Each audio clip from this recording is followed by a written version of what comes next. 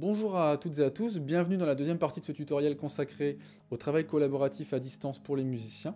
Euh, dans cette deuxième partie, on va traiter spécifiquement la problématique de l'organisation de vos sessions de synchronisation pour éviter que ce soit le bordel, pour éviter que vous vous retrouviez avec des fichiers qui ne sont pas les vôtres et qui sont des tests que les autres musiciens ont fait, et pour éviter que vous envoyiez à d'autres musiciens euh, des fichiers qui sont en fait des tests que vous avez fait vous sur votre session, mais qui n'ont pas vocation à finir sur la session de travail finale, sur la session que vous allez partager avec les autres utilisateurs. Donc ici, on va voir le cas de figure particulier où tous les utilisateurs utilisent la même station de travail audio numérique. Dans notre cas, on va travailler avec Reaper, euh, mais vous verrez que, en fait, quelle que soit la station de travail audio numérique que vous utilisez, vous allez retrouver les mêmes problématiques, et que ces problématiques-là, vous devez les avoir à l'esprit au moment où vous mettez en place une session de travail collaboratif avec des musiciens euh, à distance. Voilà. Donc, sans plus tarder, on se retrouve sur l'ordinateur et sur l'écran pour que vous puissiez voir comment j'organise tout ça. Donc, euh, reprenons là où nous nous sommes arrêtés juste après l'installation et la configuration du service de cloud. Pour travailler avec ces outils de synchronisation, il faut être un petit peu organisé. Alors on va voir comment faire. Vous vous rappelez que lors de la synchronisation, notre cloud a synchronisé les dossiers distants dans Nextcloud Collaborative Work Rojava, c'est le nom du projet sur lequel on travaille, et dans ce dossier Rojava, j'ai mes fichiers audio, mes fichiers de forme d'onde, mes rendus, les partitions et les fichiers de projet avec les backups. Voilà. Alors, donc je pourrais ouvrir ce fichier directement et euh, ça m'ouvrirait Reaper et je pourrais travailler directement dans ce dossier Collaborative Works. Mais qu'est-ce qui se passerait? Bah, Si j'enregistre une partie de guitare, et puis j'en suis pas content, puis j'en refais une deuxième, puis une troisième, bah, tous ces fichiers vont aller dans le dossier audio. Et à chaque fois, et ben, ça va lancer une synchronisation du client. C'est-à-dire que tous mes tests qui seront finalement pas gardés à la fin vont quand même se stocker dans le dossier audio, vont quand même être envoyés sur le serveur, et les autres utilisateurs vont aussi récupérer tous euh, les tests que je ne veux pas garder. Donc, on ne va pas travailler dans ce dossier de synchronisation. Ce dossier de synchronisation, et eh bien justement, on va essayer de garder cette terminologie. C'est le dossier de synchronisation et pas le dossier de travail et pas ce qu'on va appeler nous le bac à sable. Euh, ce bac à sable, et eh ben, c'est très simple comment on va, on fonctionner avec ça? Donc moi je vais le faire sur le bureau. Donc je clique à droite sur mon bureau, je crée un nouveau dossier, je vais l'appeler Sandbox. Et dans ce dossier de travail, je vais faire une copie donc clic droit, copier, et je vais faire un un copier et un coller dans le dossier bac à sable, dans le dossier sandbox. Je vais fermer mon dossier de synchronisation et je vais plus y toucher. Je ne vais pas travailler avec ce dossier-là tant que je ne serai pas arrivé à un résultat qui me satisfasse euh, sur les prises de son, sur les idées, et que j'aurais pas fait ça un petit peu plus proprement pour le partager avec les autres musiciens avec qui je travaille.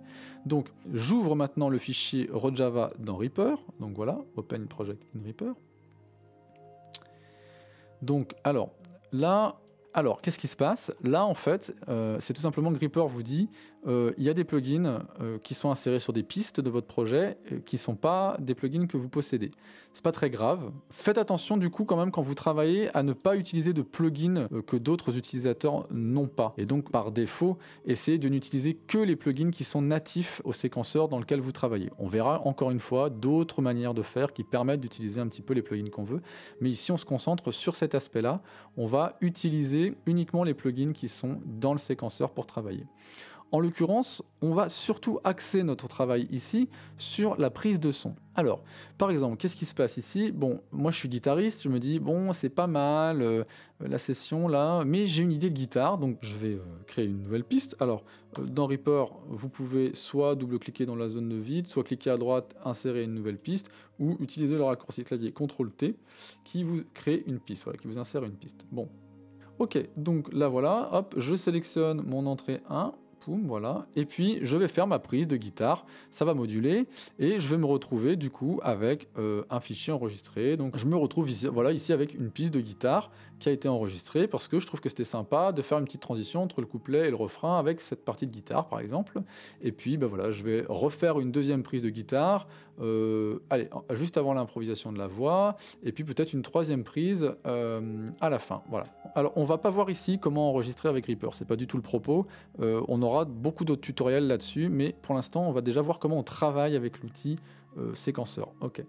Euh, ok, donc là j'ai trois prises de guitare différentes. Alors, avant d'arriver à ces trois prises, euh, il se trouve que j'en ai fait peut-être 4, 5, 6 en tout, et j'ai gardé que certaines. Donc pour nettoyer le dossier du projet, pour euh, vraiment ne garder que les prises que je veux garder, déjà je vais supprimer les prises dont j'ai plus besoin. Je vais aller dans File, Clean Current Project Directory. Alors, euh, bon, ici Reaper me dit qu'il n'y a pas de fichier inutilisé puisqu'évidemment j'ai pas fait de brouillon avant. Si j'avais fait, disons, 6 prises et que j'en gardais que 3, vous verriez ici 3 fichiers euh, qui apparaîtraient. Vous auriez trois lignes indiquant le nom des fichiers. Et euh, en fait, ces fichiers-là ne sont pas utilisés dans le projet ici. Donc, vous pouvez les supprimer. Pour ça, il suffit de les sélectionner et puis de cliquer sur Remove Selected File. Bon, ici, moi, j'en ai pas. Donc, si je fais OK, il va me fermer la fenêtre. Voilà. Alors, une fois que vous avez nettoyé votre fichier de projet, donc là, ce qui reste, c'est ce que vous voulez partager avec les autres musiciens. Euh, dans votre bac à sable, déjà, vous allez sauvegarder votre session. Et pour ça, tout simplement, vous allez utiliser le raccourci CTRL S pour sauver ou fichier Save Project. Voilà, ça c'est la première étape. Vous sauvegardez votre projet nettoyé dans votre bac à sable. Maintenant, vous voulez partager ce que vous avez fait avec vos petits copains et vos petites copines. Donc pour ça, il va falloir que vous envoyez à la fois le fichier de projet. Donc on a vu que sous Reaper, euh, le fichier de projet, il s'appelle .rpp, ok? Et tous les fichiers audio qui sont liés au projet et que vous venez d'enregistrer, ok? Donc pour ça, il va falloir faire fichier save project as et au lieu de sauvegarder dans votre sandbox, dans votre bac à sable, comme vous l'avez déjà fait d'ailleurs, euh, ce coup-ci, on va aller dans Nextcloud Collaborative Work, Rojava, et on va sauvegarder sur le fichier de session collectif. Donc là, ça va vous copier la session, euh, c'est-à-dire bah, la piste que vous avez rajoutée, les emplacements des rectangles qu'on voit ici, les emplacements de vos items, ici ici et ici. Par contre, si vous ne faites pas très attention à cocher aussi cette case-là, les fichiers audio qui sont actuellement dans votre bac à sable, ça va pas vous les placer dans le dossier Collaborative Works, Rojava, Audio.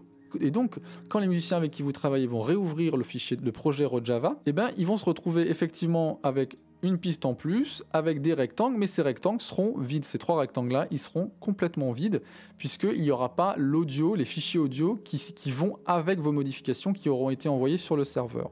Donc, une fois que vous êtes satisfait de vos résultats, une fois que vous avez nettoyé votre bac à sable, eh bien vous pouvez tout simplement partager votre contribution avec les autres musiciens en allant maintenant enregistrer votre contribution dans le dossier de synchronisation. Donc pour ça, je répète, vous allez dans le dossier de synchronisation, vous sélectionnez le fichier de projet collectif qui s'appelle Rojava et surtout vous n'oubliez pas de bien cocher la case Copy All Media Item into Project Directory. Quand je vais valider, il va me demander deux choses. Donc la première chose, est-ce que je veux remplacer le fichier qui est dans Collaborative Works? Alors vous mettez oui. Et vous allez voir quand je vais valider ça, ça va aller assez vite, mais on va voir une petite fenêtre. Et cette fenêtre, c'est celle de la copie des fichiers qui sont dans mon bac à sable vers le dossier collaboratif. Donc je mets oui, hop. Maintenant, regardez ce qui se passe au niveau de votre synchronisation. Ici, vous avez votre synchronisation qui démarre et vos fichiers qui sont envoyés, il y a 11 mégaoctets voilà, de fichiers, qui sont envoyés vers le serveur. Voilà. Donc si maintenant je vais dans mon dossier Nextcloud, le Nextcloud, le Collaborative Works, sont en cours de synchronisation. Le petit icône bleu là, voilà, Rojava en cours de synchronisation. Et ici, c'est encore plus flagrant puisqu'on voit que ce qui est synchronisé, donc le Rojava est déjà synchronisé, mais il reste dans audio, il reste une synchronisation en cours. Et si on y va, on voit que c'est le dernier fichier que j'ai enregistré. Euh, qui se trouve être en cours de synchronisation. Euh, alors pourquoi est-ce qu'il apparaît en haut ici? Bah, C'est tout simplement parce que j'ai classé mes fichiers par date. Hein. C'est pour ça que du coup, le dernier fichier enregistré est en haut, et c'est bien euh, ce fichier-là qui est en train d'être envoyé vers le serveur distant. Quand ces transferts seront finis, les autres utilisateurs, à partir du moment où ils vont se connecter, ils vont récupérer les modifications que vous avez faites dans le projet Rojava et ils vont récupérer à la fois vos fichiers audio indispensables et le projet modifié avec les endroits où vous avez placé les fichiers audio en question. Donc une fois les modifications synchronisées, bah, ils vont faire comme vous, ils vont copier le dossier nouvellement modifié vers leur bac à sable et ils vont pouvoir faire leurs modifications aussi dans leur dossier de travail et répéter toutes les manipulations manipulation que j'ai évoquées dans ce tutoriel. Voilà, c'est la fin de ce tutoriel, merci de l'avoir suivi. Si vous souhaitez être tenu informé des tutoriels à venir, n'hésitez pas à vous abonner à la chaîne. Vous pouvez aussi nous suivre sur Facebook, le lien sera en description.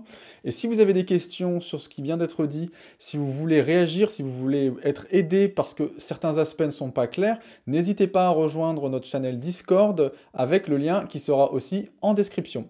A très bientôt